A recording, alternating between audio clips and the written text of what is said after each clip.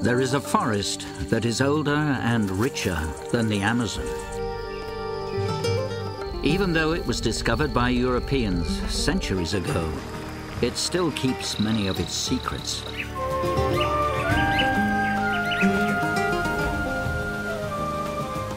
A large number of the animals of this forest live nowhere else.